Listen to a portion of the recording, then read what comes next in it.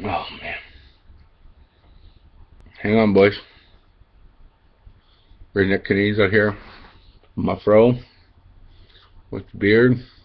Coming for you, Michigan Dipper. I'm gonna get the beard longer than yours. Your goatee goes like a mile a minute. I think your fucking goatee's on steroids. Some bitch. JD Hewitt, love you, man. Watched your video about two minutes ago. Maybe me want to make a video. I haven't done one because we had the fam over this year for Christmas and the holidays.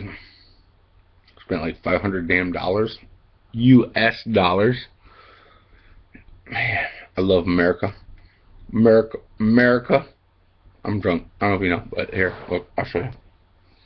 Oh shit, see how drunk I am? There it is. The Christmas Smirnoff is empty. Well, hang on, it's on my side. Hang on, boys. Hang on. A drunk redneck video. Ain't seen it in a while. Redneck Canadians drinking again. It's right there. Have you seen it. Beep.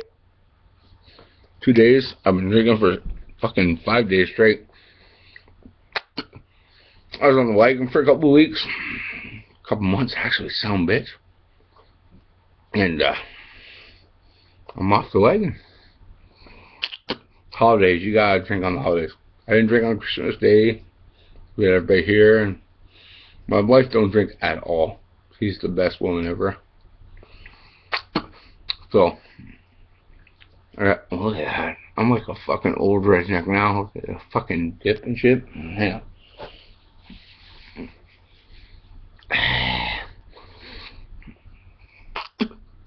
All right. Dipping my lip, yep. Full fucking horseshoe. Watching vids tonight. It's my drinking night. Um, man, the Dipper Brotherhood, Dipper Sisterhood, love you guys. I am drunk as shit. Look at, I'm like fucking.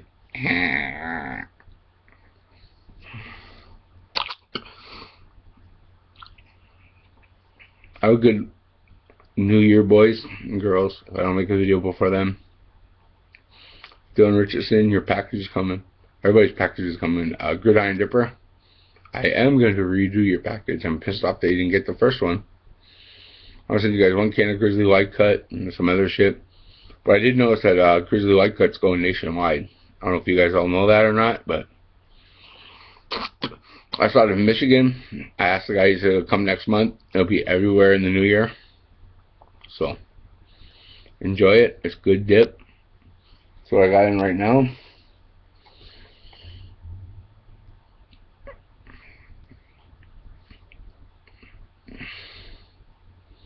Hope you guys all had a good New Year. My mom passed away a couple years ago before the, the New Year, and it fucks me up at Christmas and New Year's every year.